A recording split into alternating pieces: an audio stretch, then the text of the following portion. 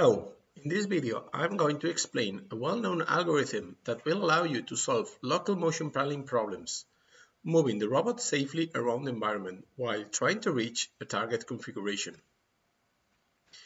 The aims of this presentation are, on the one hand, to understand the fundamental characteristics of the vector field histogram algorithm and its variants, VFH plus and VFH star, and differentiate them. I will explain how to build primary, binary, and masked polar histograms from sensor data and also how to obtain candidate directions and to know how to choose the best one under a given criterion. Throughout the presentation, we will see that the algorithm contains an important set of parameters that we will have to tune properly to work, such as thresholds, valley sizes, cost function weights, and the amount of prediction steps. Tuning these parameters is not that intuitive unless you know what you're doing, and it depends on the environment of the robot. The VFH or vector field histogram technique assumes that we can build a 2D occupancy uh, map or a cell histogram that incorporates unreliable measurements from range sensors such as ultrasound or laser. If not, we can always use raw sensor data.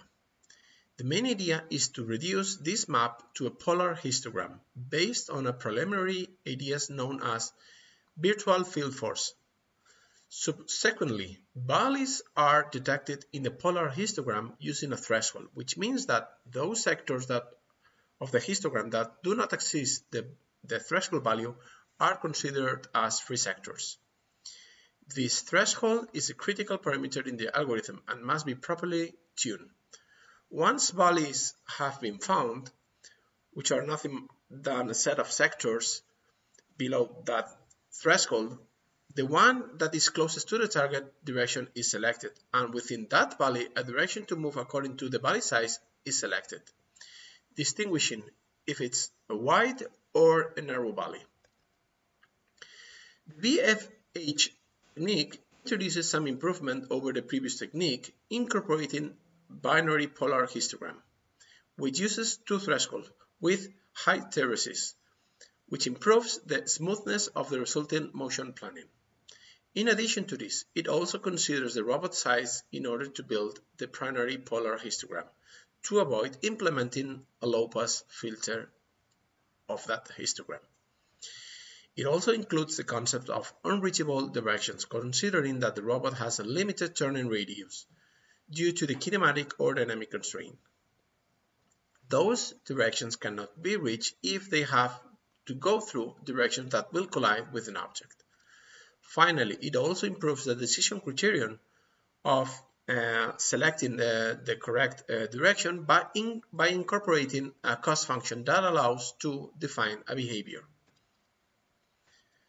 And a couple of years later, the VFH star technique was introduced, which includes as main novelty the fact that makes predictions uh, for n steps to build a tree and uses uh, the A-star algorithm to compute an optimal route. The fundamental idea is that prior to making the decision of which is the best candidate direction to choose, the VFH star algorithm simulates those candidate directions and obtains new robot positions and reevaluates the VFH plus algorithm based on those new positions. After n steps, a tree is built with candidate directions and the A-star algorithm allows us to choose the best one in one step, uh, let's say, uh, direction that minimizes the tree. So in order to uh, implement those techniques, we need a first step, which is basically uh, to build a cell histogram um, whose values uh, are updated based on the range sensor measurements after several passes, and they will provide somehow a certainty of the cell being occupied. This process can be uh, improved if we use occupancy uh, maps which provides the likelihood of each cell of being occupied. The 2D cell histogram is converted into a polar histogram, that is a one-dimensional histogram. Uh, in this process, um, the size of the robot is taken into consideration, which avoids having uh, to use a low pass, uh, low pass filter to smooth the, pol the polar histogram. So for each cell a magnitude is computed depending on the cell distance to the robot and its occupancy likelihood. And then the cell magnitudes are accumulated uh, on their corresponding polar sector and the size of the sector is a fundamental parameter of the algorithm as well. Here we see some of the formulas used for building this polar histogram. As mentioned, we must first obtain the cell magnitude, which depends on the cell distance to the robot and uh, its likelihood of being occupied, and some parameters related with the active window size.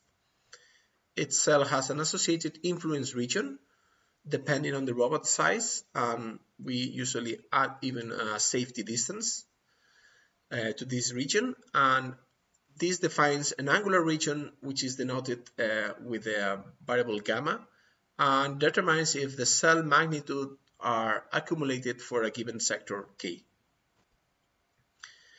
The binary polar histogram uses two thresholds to determine which sectors are occupied and which of them are free. It transforms the accumulated values into ones or zeros depending on whether they are above or below these thresholds. Indeed, in case of being between the threshold, hysteresis mechanism is used so that the previous value or the value that we had in the previous iteration is used. And the last histogram we need to build is the mask histogram. This histogram takes into account the fact that the robot has some kinematic or dynamic constraints, and therefore there's a minimum turning radius. This implies that if, in order to reach a free sector, or a sector that was classified as a free in the binary uh, histogram, if we need to to reach, uh, in order to reach that sector, we must necessarily go through another sector that might be locked, then in that case, those sectors will be also blocked. And um, here I show uh, the binary histogram and the mask histograms. And as you can see, the red zone in the mask histogram are marked as forbidden directions because in order to reach those directions, the robot must necessarily pass through the orange uh, region. And because of the minimum radius, um, which is depicted in, uh, in the green circles in the figure, this cannot be possible without colliding. So once we have the mask histogram, we can detect the valleys, uh, which are basically a set of sectors marked as free sectors. And we made a distinction between what we uh, call narrow valleys and wide valleys. Uh, narrow valley represents a region in which the robot can pass through, but is surrounded by obstacles, and therefore there's only one possible direction, which is just basically pass through the middle of the valley. And on the other hand, we have a wide valley, which represents a region with obstacles far away from the robot. And in this case, we usually can take uh, the decision or the candidate decisions um, to make are um, to move through the left or the right edges of the valley as candidate directions. Although it could happen also that the target direction is within the view, within the valley, and in that case, we also consider that that direction is also a candidate direction, obviously. And uh, among all possible directions, we, we must select the best one. And for, the, for that, um, this, uh, the VFH plus algorithm defined a cost function that we need to uh, minimize and uh, consider considering aspects such as target distance, robot orientation distance, and previous direction distance. The weights of these three criteria allow us to implement even, uh, different behaviors in the algorithm. The VFH plus algorithm uses a tree with candidate directions to determine the best direction to make based on a prediction.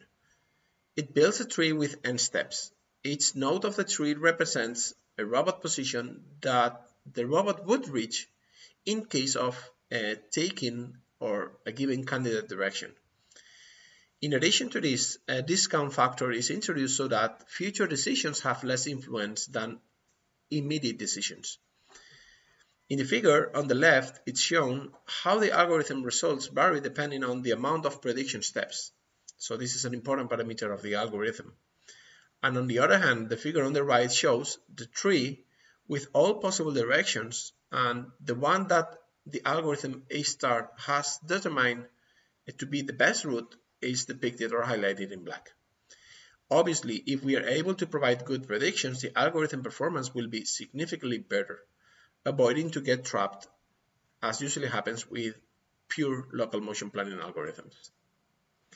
In this video, I have explained algorithm based on the VFH method, vector field histogram method, used in motion planning um, techniques for uh, mobile robots equipped with range sensors.